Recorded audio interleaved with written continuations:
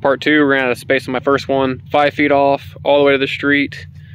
This is going to be stamped herringbone, light gray scheme, just like the other one. It's going to be four feet, which is about six inches wider. The very, very end, it's going to tie into there. Not touching that stamp. Again, straight line from the door to the road. Taking it out, not putting it back.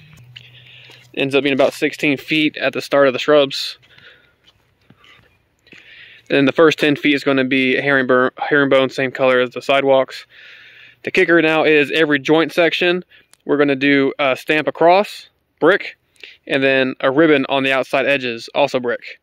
And they want it to, uh, the bricks go this way, just like the house, and then as if stacked. All right, so that's that.